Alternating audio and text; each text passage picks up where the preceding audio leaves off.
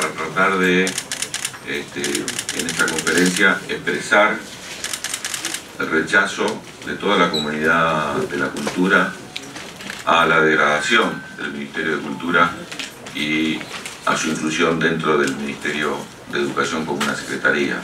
Era crónica una muerte anunciada. Desde el primer momento sabíamos que al cambiar radicalmente el rol del Estado en este proyecto político, uno de los primeros lugares donde iban a aceptar el golpe era allí. La situación se va a agravar. Nosotros vemos que este pasaje a secretaría significa profundizar esta línea de ajuste. No podemos dejar de enmarcarlo en el presupuesto 2019 que está intentando hacer aprobar este gobierno para conseguir un nuevo acuerdo con el Fondo Monetario Internacional. Por eso es que denunciamos este acuerdo, por eso creemos que además los trabajadores tenemos que enfrentarlo en la calle y obviamente usar estos espacios institucionales para eh, llevar nuestra voz. Realmente es una vergüenza eh, uno entiende, viendo el presupuesto, el por qué la baja en... Eh, en estos ministerios. Venimos trabajando la campaña de emergencia cultural en donde el gobierno había anticipado eh, este, este cambio de estructura del ministerio hacia, hacia secretaría. Este, por supuesto nosotros eh, venimos bregando por la unidad eh, de todo el sector porque realmente entendemos que no alcanza solamente con los trabajadores, esto es un, es un tema de índole nacional, eh, cuando nos recortan eh, presupuesto al Ministerio de Cultura también están recortando derechos al conjunto de la sociedad toda, al conjunto de nuestro pueblo. Estamos esperando que se junten y que nos convoquen. Lo que queremos decir que no es una cuestión solamente simbólica, es una cuestión real. Salud, trabajo, ciencia y tecnología, cultura, son algunos de los ministerios que fueron degradados y si uno pasa revista qué significa salud, trabajo, cultura, ciencia y tecnología en nuestro país, se da cuenta que simplemente son para el gobierno variables de ajuste y no una necesidad de atender a los derechos de la población respecto de estas temáticas.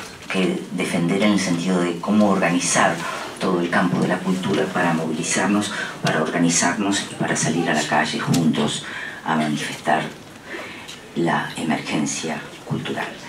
Creo que el problema básico eh, está, entre muchas otras cosas, en que no logran entender cuál es el valor de la cultura. Entonces, eh, cuando un funcionario de gobierno dice, con esa plata yo haría tantos metros de pavimento, lo cual es cierto, ¿qué le podemos responder nosotros que haríamos con eso? Y eso es lo que es difícil a veces para gente que no le interesa la cultura, explicarle que la no cultura tiene un costo altísimo. Siempre la oligarquía y los sectores dominantes capturan ese, lugar de las artes visuales como su territorio. Eh, no por casualidad el Museo de Bellas Artes ahora empieza a cobrar de nuevo la entrada. Sí creo que hay una cosa que remarcar que es que no es que no se tiene en cuenta la cultura, sino que no se tiene en cuenta la intervención del Estado para sostener la cultura. Y como en todo el resto de las áreas, lo que hay es un modelo que lo que prioriza es que los que tienen la capacidad, los fondos, la fortuna para llevar adelante determinadas cosas o para disfrutar de esas cosas, sí la puedan llevar adelante. No es que no quieren que nadie disfrute de la cultura, quieren que solo disfruten de la cultura aquellos que la pueden producir o pagar por sus propios medios. ¿Qué rol juega la cultura en el marco de, un proyecto de nación, de un proyecto de país? Y creo que sin lugar a dudas esa es la, gran crisis que hoy estamos atravesando. Eh, un modelo neoliberal eh, que necesita de un paradigma cultural, de un modelo educativo, eh, basado en la cultura de la resignación y para eso hay que quebrar todo lo que tenga que ver este, con la lógica de sujeto de derechos, de sujetos colectivos, de producción cultural, de pensamiento crítico. Si la cultura es un derecho, el único que es capaz de garantizar los derechos es el Estado. El mercado no distribuye igualitariamente, no es capaz de garantizar los derechos. Estoy hablando como Teresa Parodi, cantora del pueblo argentino, desde hace muchos años. Y tengo una enorme tristeza por lo que estamos viviendo tengo una enorme tristeza cuando escucho las voces de los trabajadores que me demuestran hasta qué punto están destruyendo